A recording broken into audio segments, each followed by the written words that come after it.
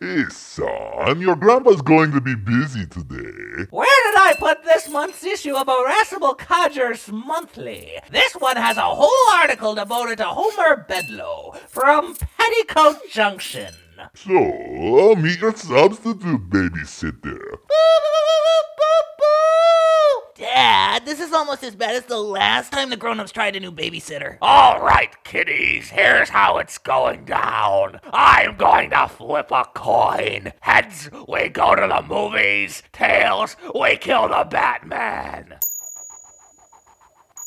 Movies it is! Yay! That was fun, but now we've come to yet another fork in the road. Heads, we go get ice cream. Tails, we kill the Batman. Ice cream it is! Yay! I love you, Uncle Two-Face! Oh yeah, he was actually cool. Hey, Mr. Buu, what kind of fun stuff are we going to do today? Buu has assortment of arts and crafts. Ooh! Then Buu blasts your dirt into chocolate. Yay! Hey, Mr. Buu, can I stay up late and watch TV tonight? What kind TV?